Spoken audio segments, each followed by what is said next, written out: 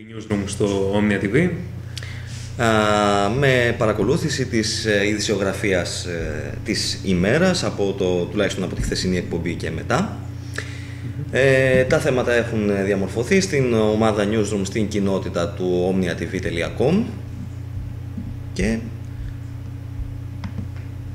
πάμε Να, να τα δούμε. να ξεκινήσουμε λίγο Ναι. με τα θέματα.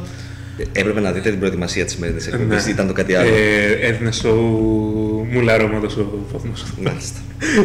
λοιπόν, Δεν θα σχολιάσω. να μην Σιωπή προς σχολιάσεις. απάντησή σου.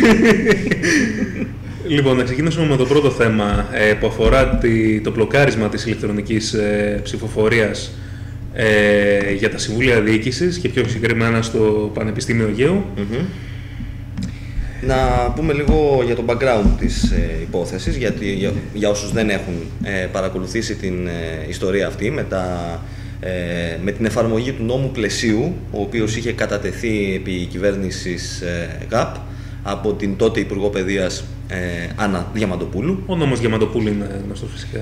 ο οποίος υπέστη κάποιες τροποποιήσεις ε, στο 2012 ε, οι οποίες ε, σκοπό είχαν να παρακάμψουν κάποια εμπόδια που παρουσιάστηκαν στην εφαρμογή του νόμου. Τα εμπόδια αυτά ήταν ότι προβλεπόταν η εκλογή των ε, ε, συμβουλίων διοίκησης, δηλαδή του ανώτατου πλέον, σύμφωνα με αυτόν τον νόμο πλαίσιο, ε, διοικητικού οργάνου ε, κάθε ανώτατου εκπαιδευτικού ιδρύματος, πανεπιστημίων και ΕΤΕΗ, α, με ψηφοφορία μεταξύ των ε, α, καθηγητών και μελών ε, ΔΕΠ, τα οποία συμβούλια ε, θα είχαν και κάποια μέλη, θα έχουν μάλλον, ή προβλέπεται να έχουν και κάποια μέλη έξω πανεπιστημιακά.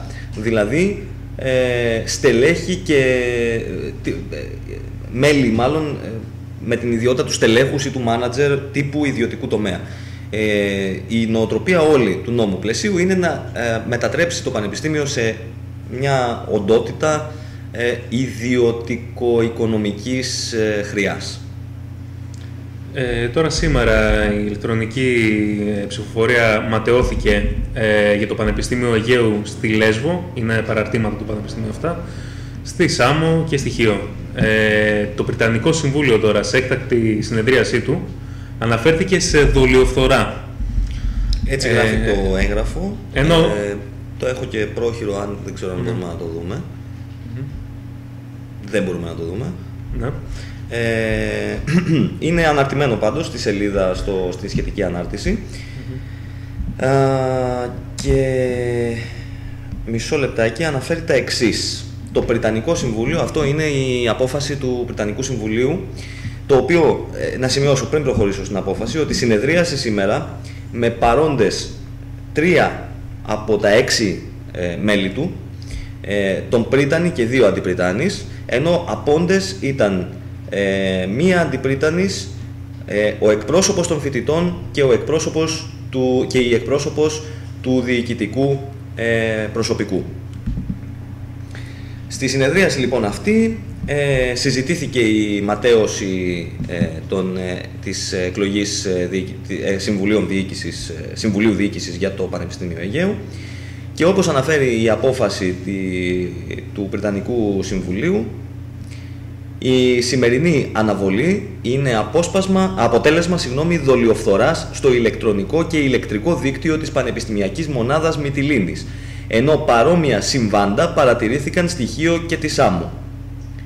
Το Πριτανικό Συμβούλιο δηλώνει ότι θα αναζητηθούν όσοι είναι υπεύθυνοι για τις παραπάνω έκνομες πράξεις εις βάρος της περιουσίας και της ομαλής λειτουργίας του Πανεπιστημίου Αιγαίου. Τέλος, το Πριτανικό Συμβούλιο αποφασίζει την επανάληψη της ηλεκτρονικής ψηφοφορίας για τις εκλογές ανάδειξης των 8 εσωτερικών μελών του Συμβουλίου την επόμενη Παρασκευή, 9 Νοεμβρίου. Όπου να φανταστούμε θα ακολουθήσουν τα ίδια που έχω να φανταστώ. Ε, είναι πολύ πιθανόν γιατί από ό,τι έχει δημοσιευτεί από φοιτητές. Ε, οι σερβερ μπλοκαρίστηκαν με μαζική παρέμβαση ε, χωρίς να γίνονται γνωστές οι λεπτομέρειες Όχι Ε, με φυσική δηλαδή παρέμβαση από ό,τι καταλαβαίνω, αλλά. Ναι, όχι δηλαδή με σε κάποια αποστάσεις. δολιοφθορά, γιατί η δολιοφθορά προϋποθέτει καταστροφή υλικού έτσι, με παρουσία του δρόντος. Μπορούμε να φανταστούμε τα γνωστά λόγια που μπορώ να φανταστώ, κάποιο διτός. Ναι. Και... Δεν μπορώ να σκεφτώ κάτι άλλο. Ε, να πούμε ότι το θέμα της εκλογής των ε, Συμβουλίων Διοίκησης έχει προκαλέσει το ενδιαφέρον γενικά στο πλαίσιο ε, της παρακολούθησης των ε, τεκτενομένων στην Ελλάδα ε, αυτό το διάστημα που οδηγούν στην ιδιωτικοποίηση όλων και περισσότερων ε, κομματιών που μέχρι τώρα θεωρούνταν δημόσια ή έστω κρατικά. Λοιπόν, να περάσουμε στην επόμενη είδηση. Ε, πάμε τώρα στο, στην Παλαιστίνη, όπου το Ισραηλινό Δικαστήριο αθώνει στρατιώτη για τη δολοφονία ενός δεκάχρονου παιδιού ε, με σφαίρα στο κεφάλι. Ε, πρόκειται για το Ισραηλινό Δικαστήριο στο Λόντ. Ε, η απόφαση πάρθηκε την Τρίτη και έχει να κάνει με μια υπόθεση ενός στρατιώτη που πυροβόλησε το 2008 ε, στην, ε, Στη Ραμάλα. στη Ραμάλα, Σε ένα χωριό σε, ένα- κοντά σε ένα στη χωριό Ραμάλα. κο- κοντά ε, στη Ραμάλα. Στο χωριό Νίλιν. Ναι, ε, σε- κατά τη διάρκεια μιας ειρηνικής διαμαρτυρίας ενάντια στην ε, προσάρτηση τείχου στην εν λόγω περιοχή. Ε, όπως ήταν φυσικό, ε, όπως, συγγνώμη, ναι. Ε, ο στρατιώτης ανέφερε ε, το να κάνουμε πίσω ε, σε όσους μας πετάνε πέτρες και να μην πυροβολούμε θεωρού, θεωρείται αδυναμία.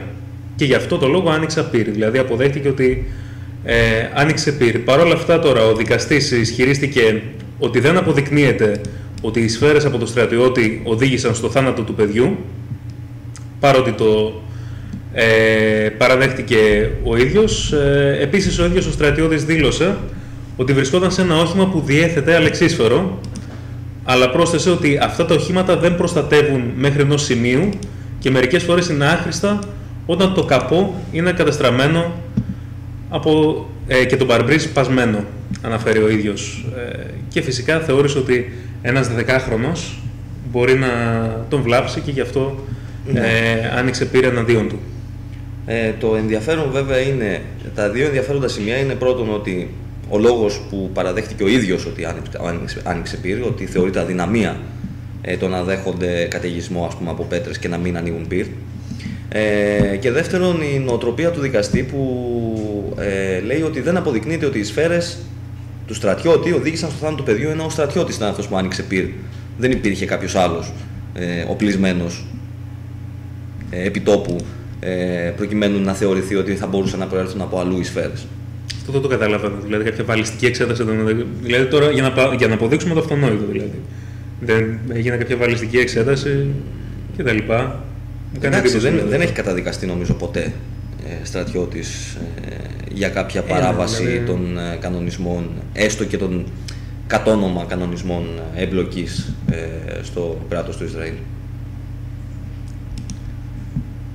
Η, βλέπω η- ότι η Χαρέτς ε, περιγράφει το γεγονός, ας πούμε, Επειδή ότι... είχαμε μια συζήτηση σχετικά με τη Χαρέτση, είναι, τη χαρακτηρίσαμε ως ελευθεροτυπία Ναι, ε, είναι, του Ισραήλ. είναι σχετικά Είναι φιλελεύθερη φιλελεύθερη. εφημερίδα με την ε, ε, κυριολεξία της λέξης, όχι με την πολιτική σημασία. Ναι, ναι. Ε, μ, η- ότι το, όταν ε, η στρατιωτική μονάδα έφτασε ε, επιτόπου, εκεί που γινόταν η διαδήλωση, και μιλάμε για μια από τις πολλές εκατοντάδες διαδηλώσεις που γίνονται συνεχώς κατά του τείχους, το οποίο τείχος χωρίζει στη μέση χωριά, ε, δυσκολεύει την πρόσβαση μεταξύ, ε, τη μετακίνηση μάλλον ε, στους ε, Παλαιστινίους και ούτω καθεξής είναι ένα από τα ε, χειρότερα παρεπόμενα της ε, κατοχής.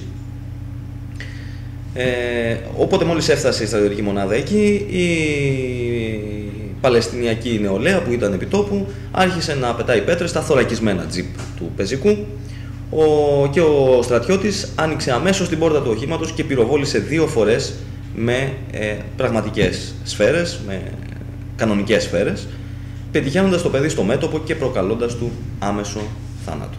Παιδί 10 χρονών, ξαναλέμε.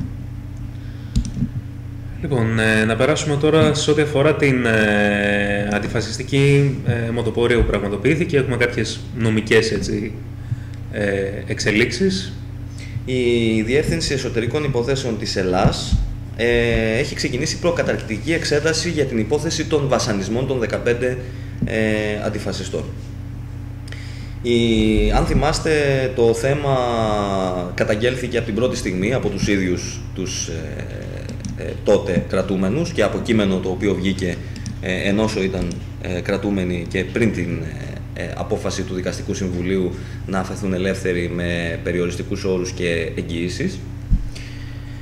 Οι ε, πέντε βουλευτές του ΣΥΡΙΖΑ είχαν κάνει σχετική ε, επερώτηση στη Βουλή ε, και κατόπιν τούτου ακολούθησε και ένα ρεπορτάζ της Βρετανικής εφημερίδας Guardian το οποίο, στο οποίο αναφέρονταν τα γεγονότα και εναντίον του οποίου είχε καταφερθεί ο Υπουργός Προστασίας του Πολίτη λέγοντας ότι είναι υποβολημαίο δημοσίευμα, δηλαδή ήταν ε, το, είχε κάνει, το είχε υποβάλει ο ΣΥΡΙΖΑ στην Guardian να το γράψει. Ναι, ναι.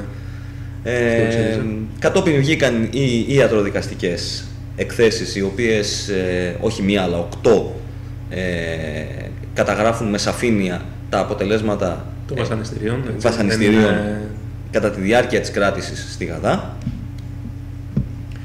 Και από χθες, όπως διαβάσαμε, κλήθηκαν να καταθέσουν σε, κατά τη διάρκεια προκαταρκτικής εξέτασης οι πέντε βουλευτές ε, σε πρώτη φάση από την Διεύθυνση Εσωτερικών Υποθέσεων της Ελλάς.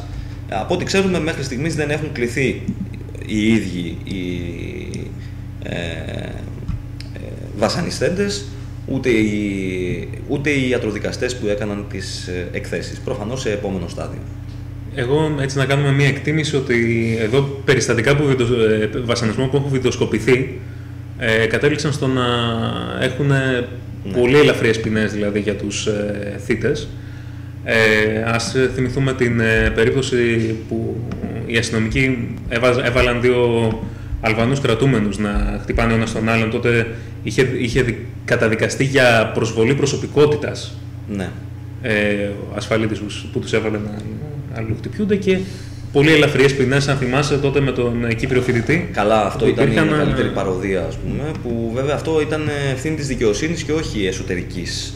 Ε, Πώς να το πούμε, πειθαρχικής δίωξη. Ήταν, ε, έφτασε στο δικαστήριο η υπόθεση και τελικά ε, το δικαστήριο ε, του επέβαλε μια ποινή 5 ευρώ την ημέρα ε, για, αυτήν την, για αυτόν τον άγριο ξυλοδαρμό του ε, Αυγουστίνου Δημητρίου.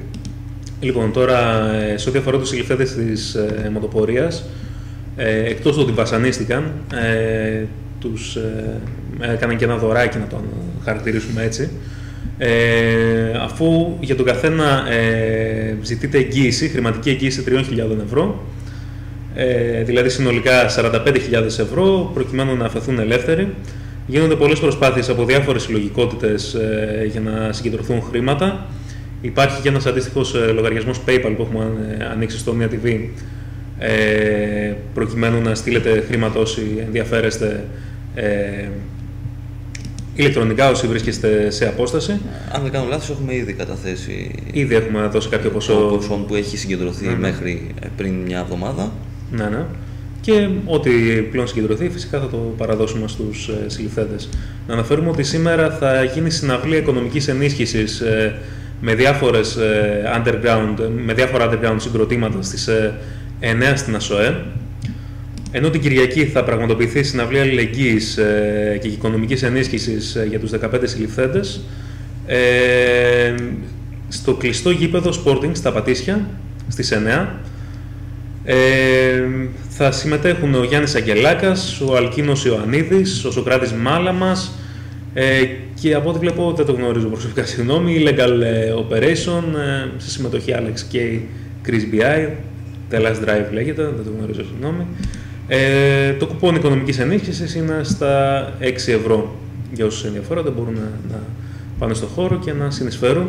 Να υπενθυμίσουμε ότι υπάρχει επίσης ε, κουτί οικονομικής ενίσχυσης στον ε, ελεύθερο κοινωνικό χώρο ε, Vox ε, στην πλατεία Εξαρχείων.